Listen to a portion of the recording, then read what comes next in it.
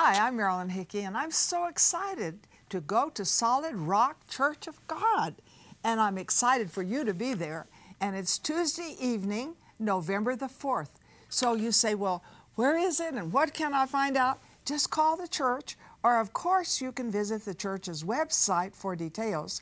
And always come expecting Jesus just to touch you in a very supernatural way.